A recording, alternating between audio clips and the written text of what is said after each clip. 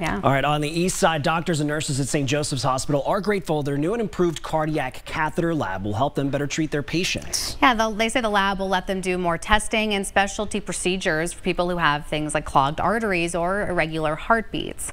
St. Joseph's Hospital now has three rooms dedicated to cardiovascular health. Dr. Sundin Shinoy says now they can take care of far more hearts.